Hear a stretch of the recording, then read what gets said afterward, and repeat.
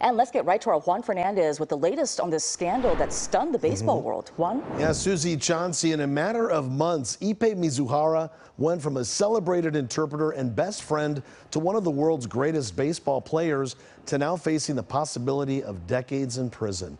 Today, federal prosecutors say Mizuhara agreed to plead guilty to bank and tax fraud charges.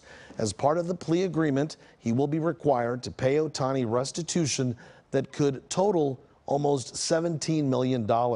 That's the amount prosecutors say he stole from Ohtani to pay off gambling debts. Mizuhara also owes more than $1 million to the IRS for falsifying tax returns. In a statement tonight, U.S. Attorney Martin Estrada writing, quote, the extent of this defendant's deception and theft is massive. He took advantage of his position of trust to take advantage of Mr. Ohtani and fuel a dangerous gambling habit.